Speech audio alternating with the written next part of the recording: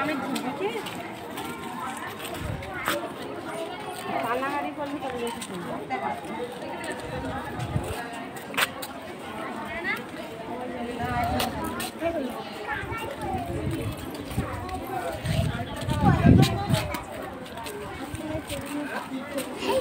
কি করে বানাবো?